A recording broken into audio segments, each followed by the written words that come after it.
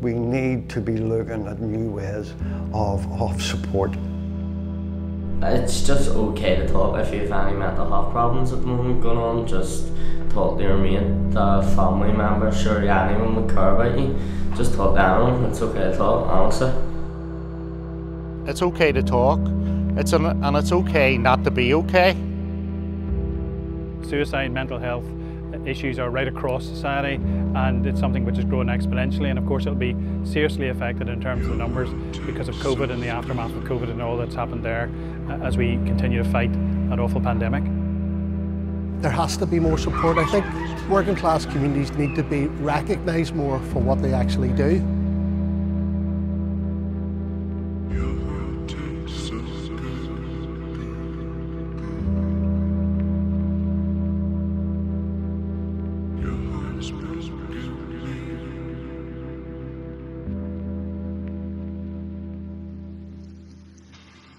This project started with an art project with a group of young people that Pete was working with. And the only criteria for that project was that it simply had to be of a community safety theme. The young people themselves, they identified a very important issue for them that was at the heart of them, but also in this community, and that's mental health and well-being. There's high levels of suicide mental health, and they wanted to do something with that art piece that highlighted that. My name is Dalton Simpson. I am from Woodvale, alright. Uh, my name is Jamie. I'm from Woodvale.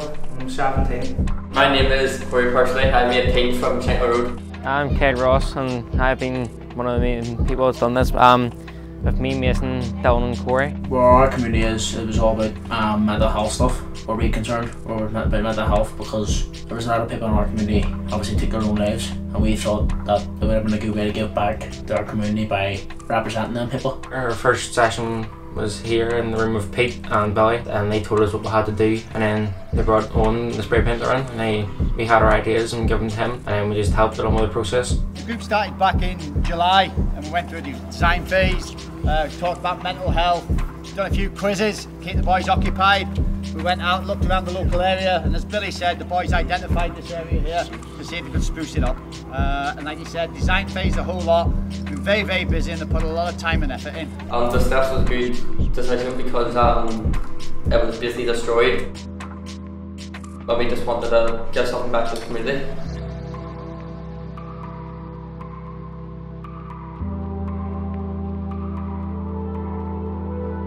Today we are cleaning up the community, helping out uh, tidying up, just making the place nice and clean. A couple of weeks ago we went and done uh, the spray painting around the corner from here.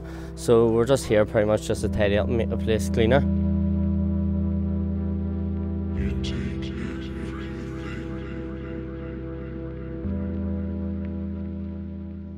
I'm John McVicker. I work with Greater Shankill Community Council in the Shankill Mirror. I actually was born here in the Woodvale area. Amazing things have gone on uh, in terms of you know transformation within this community, um, and obviously this the Safe project uh, is just another string to the bow, so to speak. I think what was done here today, sort of, if you like, working with local youth, working class youth, engaging with them around what it is they wanted to do to help their community, asking them to sort out an area or look and find an area that had been involved in antisocial behaviour and look at how we can make it better, looking at the five steps to mental health, looking at the community cleanup. I think things like that, that's how do you need to engage with local residents, local young people in order to make communities work. We really hope as a result of all of this that relationships between community and statutory agencies will be built and that relationships will be built and strengthened within this area and that people will have greater confidence to use their voice to make more positive changes within the communities in the coming days. If we can work together, then some of the problems that we're facing will not be resolved in their entirety. But if we work together, then we can tackle some of the significant issues that people are facing. We initiatives like this are really, really and actually showing that it doesn't actually take that much and certainly doesn't take that much funding. Um, if people get together to make a difference, they can really actually uplift and change their environment. Speak up, I know it's hard to, especially for men and women. It's not one-sided thing. Everybody needs to speak up and have an opinion. It's okay not to be okay.